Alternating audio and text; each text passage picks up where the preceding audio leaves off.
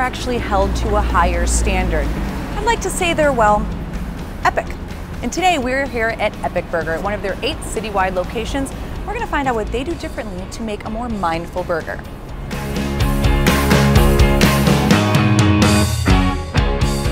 David, I have been a fan of Epic Burger since you guys opened your first location in 2008. You've expanded so much and you've really kind of taken Chicago by storm. Everyone loves Epic Burger, but I want to know how you started it and what was your original mission statement?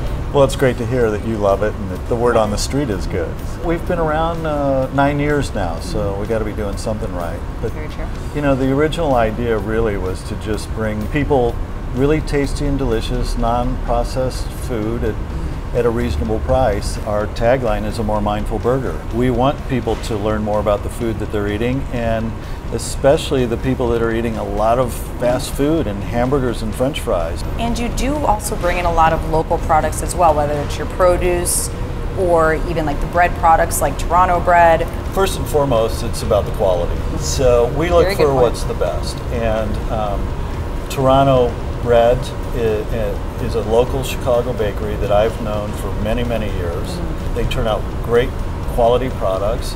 They worked with me for years in developing recipes nice. that had no preservatives or food colorings that were specific for our company. So they were a delight. But uh, even our, uh, our turkey is all natural, comes from Michigan farmers.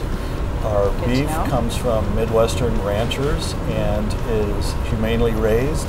For somebody who just doesn't eat meat regardless or doesn't eat beef or red meat, you have some great other options, which I love. You have turkey burgers, Delicious. grilled chicken, yeah. and a portobello burger, right? Great alternatives to beef. And again, you know, we want to take people on a journey. So we would encourage them to maybe come in more often, not necessarily for an epic burger, but for a turkey burger or a chicken sandwich. And that we've got some really wholesome, healthful menu items. Right. Well, all this talk and looking at the menu earlier yes. has made me insanely hungry. Can we go build our own burgers? Yeah, let's go make something epic.